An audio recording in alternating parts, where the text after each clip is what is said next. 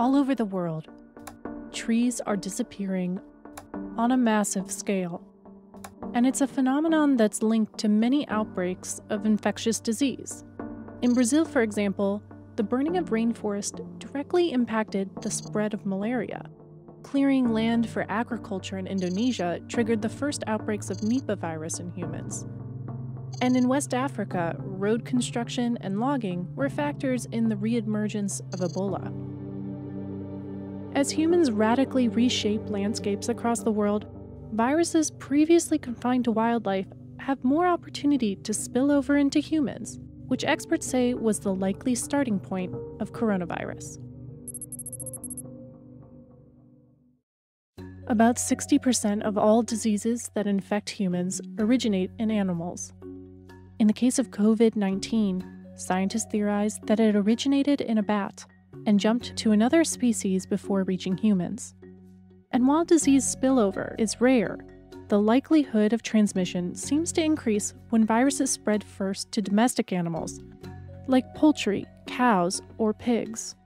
And changes to the environment by humans can amplify the spillover effect we did an analysis of all the instances of new emerging diseases over the last 80 years and looked at the exact reasons and circumstances as to how those diseases emerged. Jonathan Epstein is a veterinarian and disease ecologist at EcoHealth Alliance who studies emerging zoonotic viruses. One of the most significant drivers responsible for about 30% of all the emerging disease events is land use change. That could be deforestation, it could be agricultural expansion, but it could also be reforestation. These kinds of shifts in land use are seen all over the world. In disrupting intact ecosystems, they reduce the natural barriers between virus host animals and humans.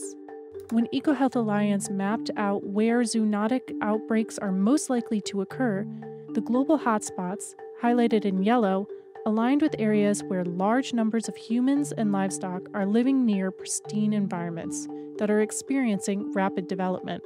Well, when we look at the, the areas on the planet that, that tend to be the most vulnerable to emerging viruses and specifically zoonotic viruses, it does have a lot to do with biodiversity. But it's not the presence of biodiversity that's the risk.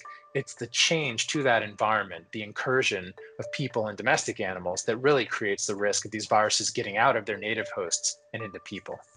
And nobody can predict exactly when or where the next outbreak will occur, or even what virus will be responsible.